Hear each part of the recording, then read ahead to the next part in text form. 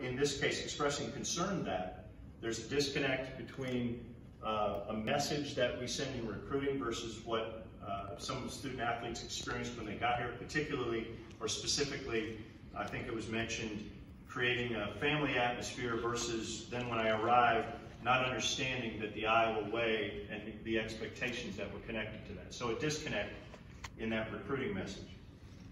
There are several uh, areas uh, pointed out where we need to improve uh, at, from, from these student athletes, and I won't go into all of them. I'll, you know, again, Kirk will be able to more specifically speak to some of these.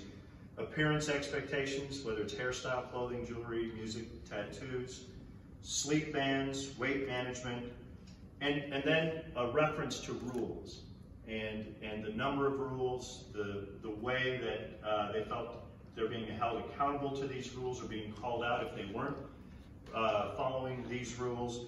And I would just say this, as it pertains to rules, um, I, I, don't think it'll come as a surprise. When you run an organization, when you, when you have a team, you have to have rules. And so having rules isn't the challenge. The challenge is, and my expectation is for football and for all of our teams, make sure the rules are fair, and in this case, make sure that, uh, you know, that, that without any kind of racial bias, uh, make sure that the expectations are well known in terms of any rules, and then make sure that the, uh, the, the follow-through, the carrying out of those rules, or any discipline related to those rules is fair and consistent.